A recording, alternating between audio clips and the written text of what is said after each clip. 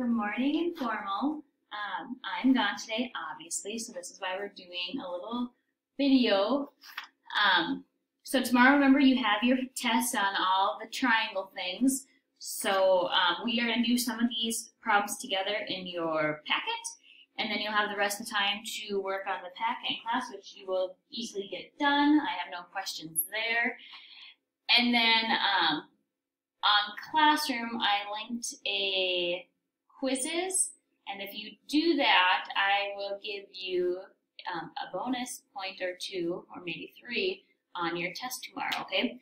But let's just start off with doing these problems in the packet together, and yes, I want you to write down what I write down, because you're going to turn it in for points, um, and we will go from there. So it says, number one, name the triangle. I don't even know if we ever fully talked about this, this is all my fault. But when you name a triangle, we use the little triangle symbol for triangle, and then you use your vertices to name it. So I can pick any order. I'm just going to go triangle PQR. PQR. You could have done any order. You could have said triangle RQP or any variation. It doesn't matter. Just you use three angles to name your triangle. Uh, we've gotten pretty good at this next part. It says Name the side opposite angle Q. So let's all find angle Q. Here's angle Q. If I go across my triangle, what side do I hit? Well, I hit side PR.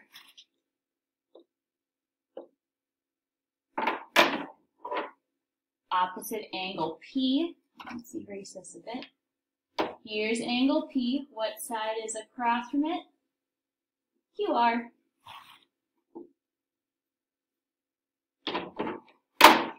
And then our last one, I look at angle R and I go across my triangle, I hit side PQ.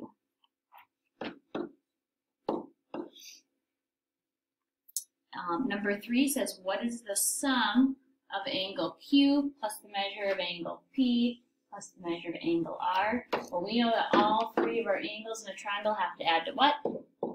180 degrees.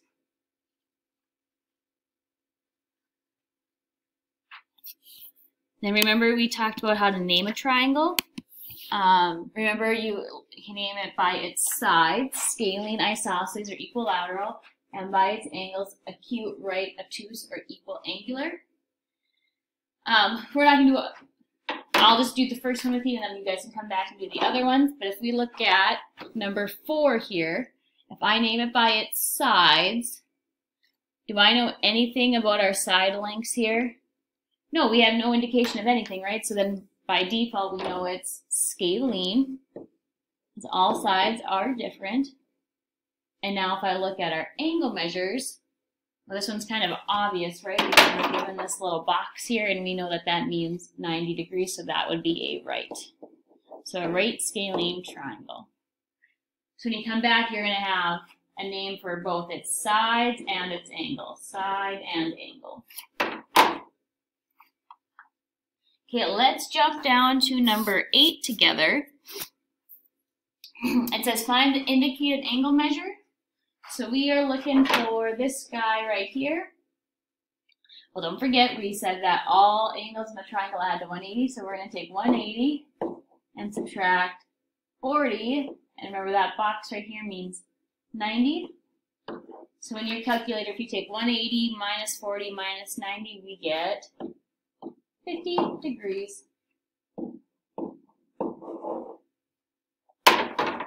Okay, I think you should be okay on 7 and 9. Um, let's flip the page and let's do number 11 together.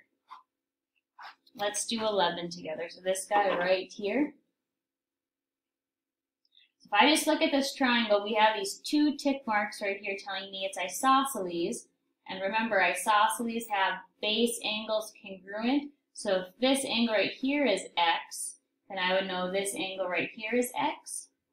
And now it makes our problem a little bit easier to solve because I would know that 180 is equal to 125 plus x plus x. And now we just simplify. So I'm drop down my 180 my 125, and I have x and x for how many total x's, guys? Two. subtract over your 125, and we should get 55 equals 2x. And then when we divide out, we find that x equals 27.5. I know we got a decimal, that's okay, not a big deal. So 27.5 degrees is our x.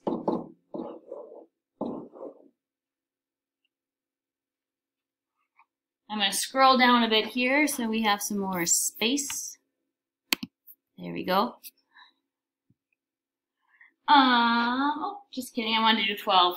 JK. Reverse, reverse. Let's do 12 together quick. I should be able to reach. Okay. Let's do 12 this is kind of goofy too. So we want to find what this angle is here. But we can't just directly find it right away. So what we need to do first is, I know that this angle right here and 103, since they make a line, we know that they add to 180, right? So I'm going to take 180 minus 103. 180 minus 103 is 77. So this angle inside here is 77 degrees. And now we have a problem like earlier. How do you find a missing angle of a triangle? We just subtract from 180. So now I'm going to take 180 minus 67 minus 77, and I'll get what angle Z is. So angle Z is now 36 degrees. 36 degrees.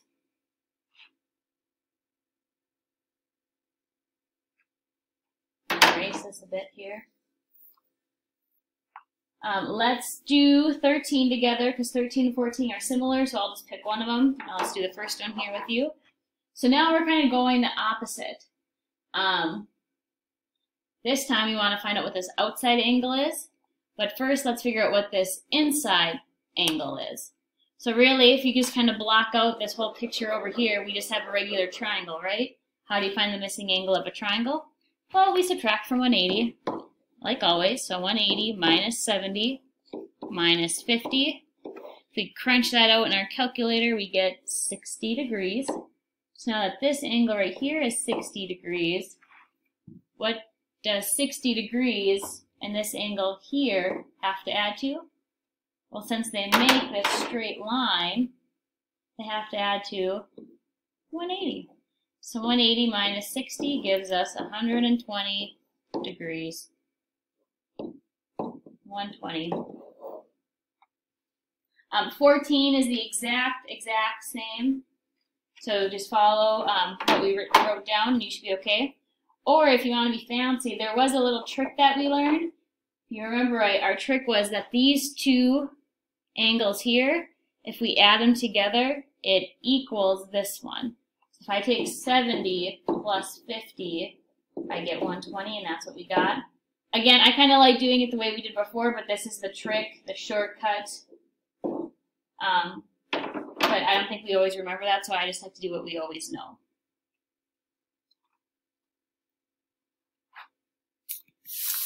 On 15, um, I'm not going to do it because I think you guys should be able to because we got really good at these. Remember, what do all three of our angles have to add to? They add to 180 So you guys come back, figure out what x is, and then you got to plug back in to find the measure of each angle. But I know you guys can do that because you're good at algebra, so we'll just keep moving on since I don't want to take up all of your time. Okay, on 16 through 18, I think that's it. Let's see here. 16 through 18, are you just trying to find the variable? We'll just do 16 together because it's just right here. Um, well, what kind of a triangle is this? It's isosceles because I have two angles the same.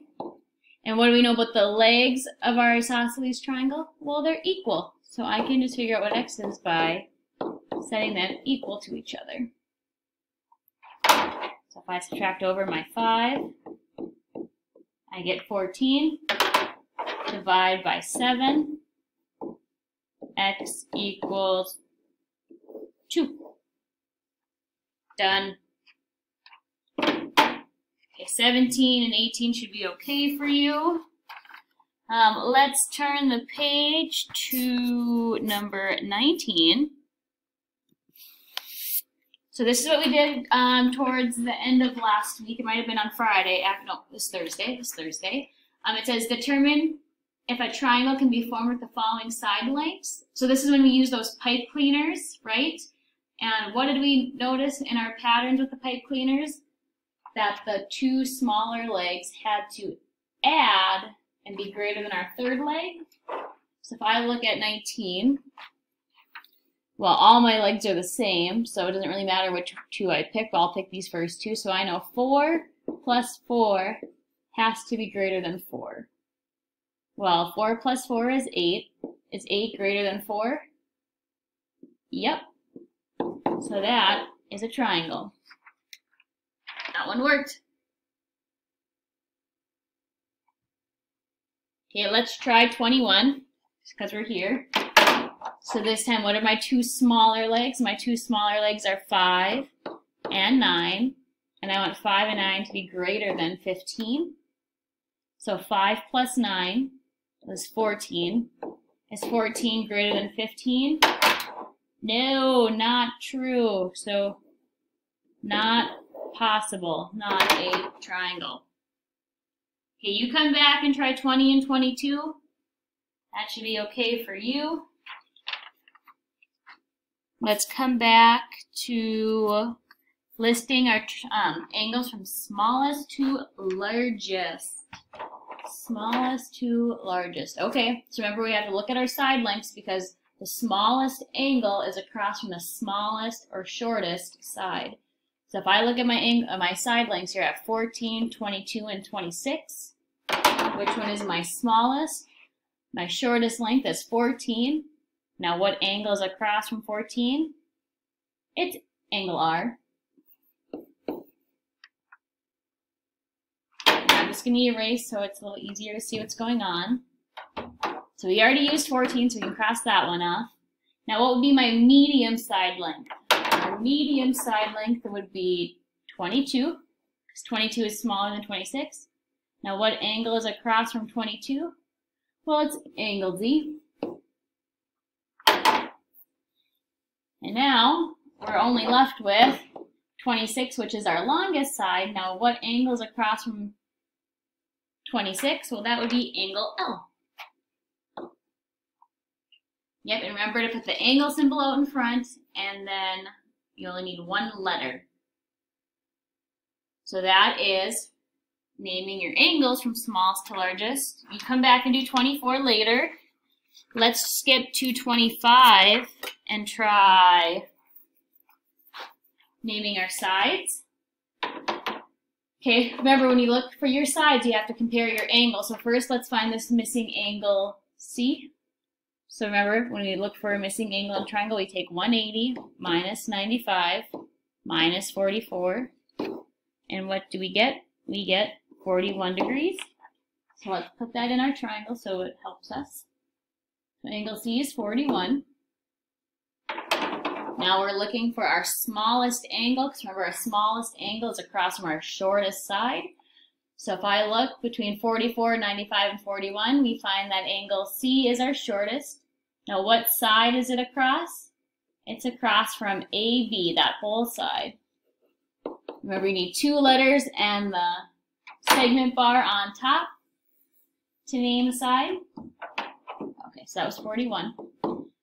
Okay, now what's my medium size angle? Our next size angle would be angle A because it's 44. If I go through my triangle, what side do I hit?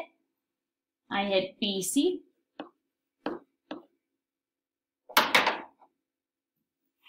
And then our largest angle would be angle B. And angle B is across from AC. There we are. So we just went from shortest to longest. Okay, you come back and do 26. Um, let's skip to the next set of questions. And our next set of questions are using the Pythagorean theorem. our favorite. So I'm just gonna go like this for a second. Why don't you guys write this um, somewhere so you just remember it on your packet? C squared equals A squared plus B squared. That is our Pythagorean theorem. Maybe put it by the directions or something. I don't know. Um, let's do 28 together. So remember, the biggest and most important thing with the Pythagorean theorem is that our c squared is always our hypotenuse.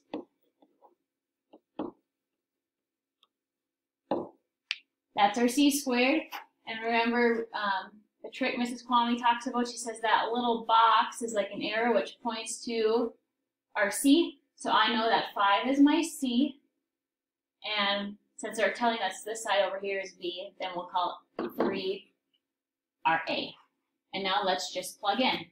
So what is our c? Well, we labeled c as 5, so we'll have 5 squared is equal to, what did we label a?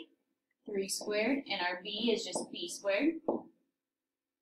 Now we got to crunch out these numbers, or we have to, excuse me. So 5 squared is 25, equals 3 squared is 9, plus b squared.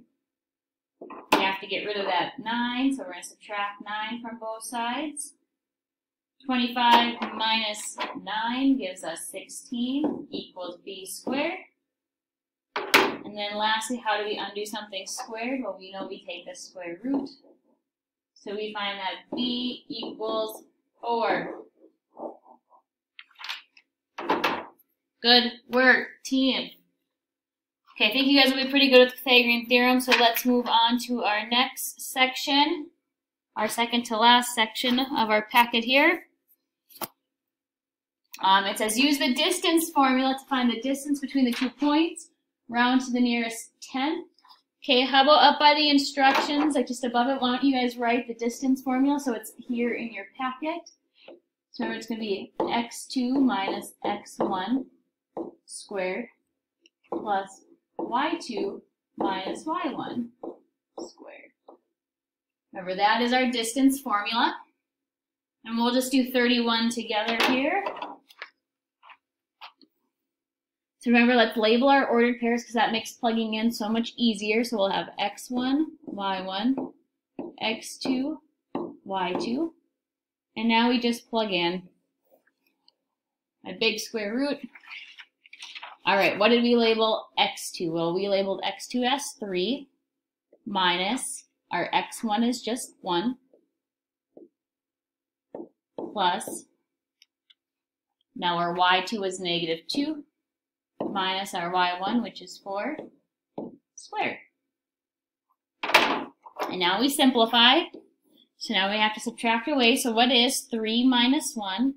3 minus 1 is just 2 squared plus negative 2 minus 4 more is negative 6 squared. Now we're going to square our numbers. 2 squared really means 2 times 2, so we get 4 plus negative 6 squared really means negative 6 times negative 6. So negative 6 times negative 6 is positive 36. And remember, you'll always get positive numbers in this step. It doesn't matter if there's a negative here or not, it's always going to give you a positive number. Um, and then, if we take 4 plus 36, we get the square root of 40. And now you just got to find that button in your calculator for the square root of 40, which I forgot to do, but I'll do it quick so we have it. Square root of 40 is 6.3. That should be our answer. All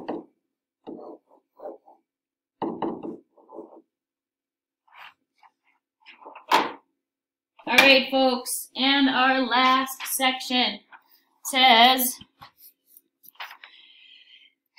use the converse of the Pythagorean theorem to determine if a triangle is acute, right, or obtuse. Okay, so why don't you guys cross this off? We're not doing 37. We never talked about medians. And then in this blank space, let's just write out our three possible options here. So for acute, c squared is less than a squared plus b squared. Um, c squared, that's acute c squared equals a squared plus b squared. We know that is a right triangle, because that's when it works. Okay, right there. And then if c squared is greater than a squared plus b squared, it is obtuse. All right, we'll just do the first one together and then I'll let you work on your packet. Um, remember, the most important thing is c squared has to be your biggest number. So out of 10, 24, and 29, we see that c has to be 29, and then the other two don't matter, but so I'll just call 10a and 24b. And now we're going to plug in. So my c is 29, so I'm going to have 29 squared. And remember, we're going to leave it blank because I don't know what it is. So just leave a space. And then we'll have 10 squared plus 24 squared. Okay, 29 squared is 841. Again, leave your space. We don't know what it is. 10 squared is 100. Plus 24 squared is 576. Add those two numbers up. So at 841, I'm still going to leave my space. It's blank to 676. Well, how does 841 compare to 8, um, 676? Well, we know that 841 is bigger than, and we always want to eat the bigger number. So that means our triangle is obtuse, right? Because it matches that symbol there. Okay, thanks guys for being champs and following along. Go back, work through the packet, have Mrs. Kwame or the sub check with their keys to make sure you're doing it right because tomorrow we have a test. So I want you to know that you're doing it correctly. And then if you have time when you're done, go on to Classroom and do the quizzes, right? Might as well get those bonus points. It's extra practice anyways. Um, be good for the sub. Have a super day, and I will see you tomorrow.